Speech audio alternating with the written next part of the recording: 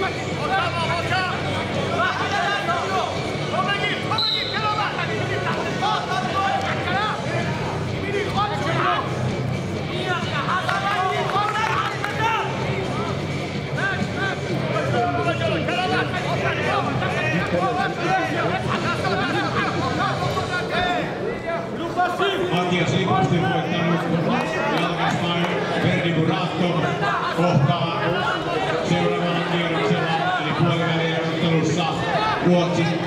Kalpi Luulopsoni. Ruotsin paikkaa C. Matola ja saa viisi ottelua ennen tuota kampanjaa.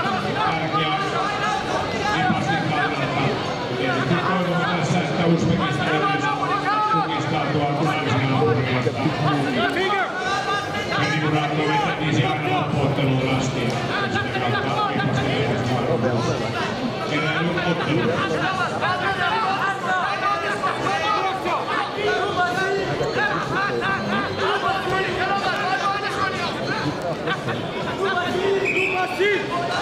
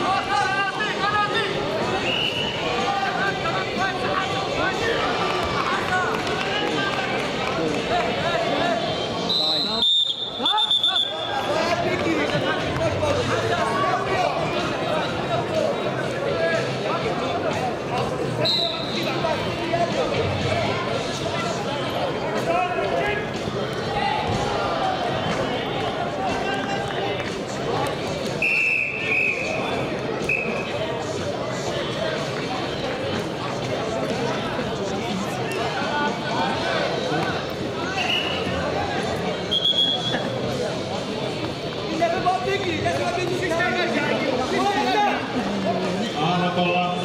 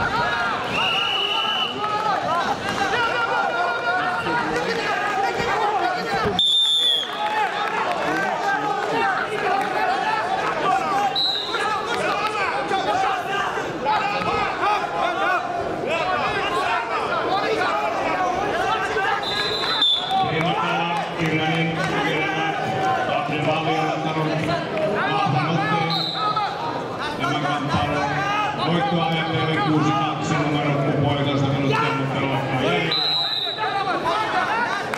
Ja se on se jännitysaika, mikä